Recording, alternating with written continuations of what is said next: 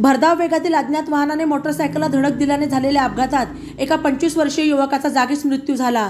तर मोटरसायकलवरील अन्य दोन जण जखमी झाले आहेत.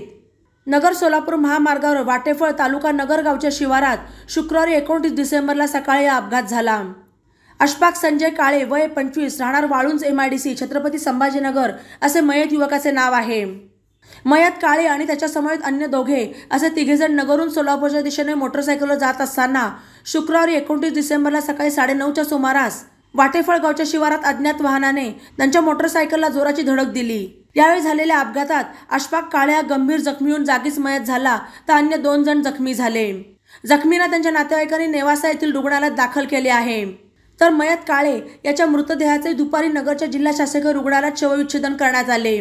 याबाबत नगर तालुका पोलीस ठाण्यात अकस्मात मृत्यूची नोंद करण्यात आली असून मैताच्या नातेवाईकांच्या फिर्यादीनंतर अपघाताचा गुन्हा दाखल करण्यात येणार असल्याचे तपासे अंमलदार रमेश गांगर्डे यांनी सांगितले. ई नवा यूट्यूब चॅनलला सबस्क्राईब करा आणि बेल आयकॉनवर प्रेस करा.